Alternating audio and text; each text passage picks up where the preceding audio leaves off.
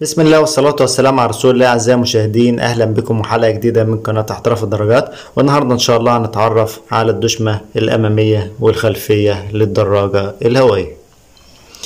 آه، دراجة السباق طبعا أهم حاجة فيها الدشمة. الدشمة هي اللي بتتحكم في نقل السرعات في الدراجة الهوائية.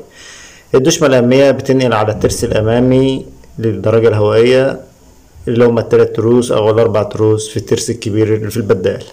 والدرسة الخلفية بتنقل على السبع تروس الخلفيين للدرجات السباق جميعا.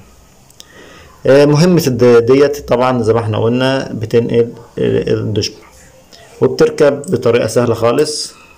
المسمار اللي هو ده هو ده بيتربط في الماسورة بتاعت ال بتاعت العجلة أو ماسورة الكدر ودي بيركب والجنزير بيركب من هنا دي يعتبر محول ال- الجنزير درجة الهوية ودي تمنها خمسين جنيه. ال- الدشمة الخلفية اللي معانا ديت دي الدشمة الخلفية فيها ترسين ده هو الترس التحتاني والترس الفوقاني وفي سوستة في النص اهيت دي بتشد.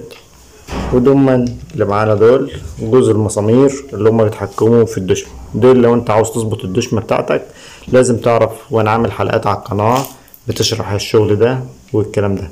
وده مسمار لو الجنزير معاك مرخرخ ولا حاجة وبتقدر تشد منه. والدشمة دي من نوع تي زد وحاجة نظيفة وبتركب في العجل النظيف. ودي تمنها خمسين جنيه. يعني الدشمتين اللي معانا دول دي دشمة تمنها خمسين ودي خمسين. وإن شاء الله هعمل لكم حلقة تانية عن لو أنت عاوز تحول من العجلة العادية لعجلة سباق هعمل لكم حلقة من ديت. فتابعوني على القناة ونقول لكم السلام عليكم ورحمة الله وبركاته.